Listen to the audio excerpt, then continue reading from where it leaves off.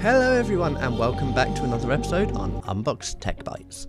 Today, we're going to be dealing with something slightly different. We're going to be looking at a C5 error that occurred from the Q codes on my new Asus X670E build. If I could ask, if you haven't already, please do take a moment to like and subscribe to the channel.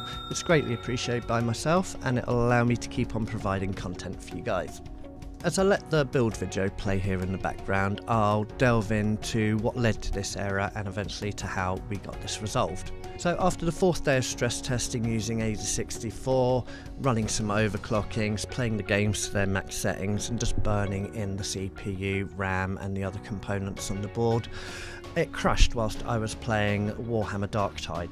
It completely froze the system. It would not let me use my mouse, keyboard, no input, no output. I restarted the system, and this is when I noticed the first issues. Um, we got a Q code of 14, and it was hanging around on 14 for a very long time. Now, this is the pre memory CPU initialization um, to let us know that that started. Now with 128 gigabytes of RAM, I thought, okay, I'll leave this a little while and see how we go. And then it threw out another error. It threw out Q code 15, which is the pre-memory system agent initialization that had started. With both of these Q codes being memory related, it gave me a good starting point for the investigation to try and resolve the error.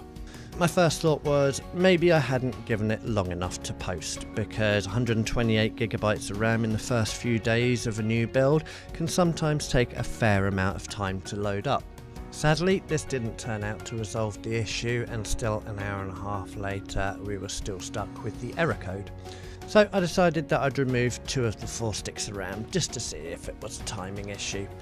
Yet again, an hour and a half later, we still hadn't posted and we were faced with our Q code 15. I decided one last ditch attempt, let's remove the third stick of RAM to see if that works.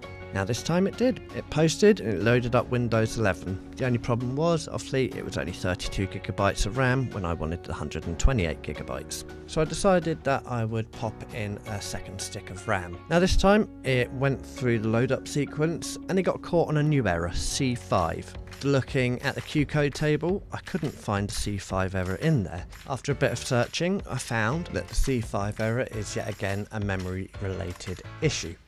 I had one more trick up my sleeve before I really needed to start getting my thinking cap on, and this was to clear the CMOS. Sadly, this again did not resolve the issue and the C5 error remained. At this point, it was starting to get a little bit frustrated, a new £10,000 build, and I wasn't being able to actually load up all of the memory that I wanted to. I ruled out any defective sticks of RAM by trying them one by one in just the one DIMM slot, and each time it posted and loaded up Windows no problem. So my second thought was, right, if this motherboard is so new, maybe the information on the BIOS wasn't as up to date as it should be for all of the RAM profiles that were on the market at that current time. I went over to Asus website into the support section for the motherboard and there I could see that there was a BIOS update waiting. Now I had nothing else left to try at this point, as I said it was starting to get quite frustrating so I loaded up the updated BIOS onto a memory stick, converted it into a readable file, and then popped that into my machine and then loaded up the BIOS through EZ Flash. After the flashing process had been undertaken, it restarted the machine, so now it was time to try with two sticks of RAM. Great, it was showing that my two sticks of RAM were there, 64 gigabytes in operation, but what I did notice was that the clock speed was running only about two thirds of its potential. I popped in the four slots, restarted, and yet again the clock speed was running a lot slower than it should be. So I went into my BIOS, and there I could see that now I had various options for the RAM that I'd installed and I could actually specifically select what clock speed it should be running at and I could also select if I wanted any of the AMD Expo profiles initiated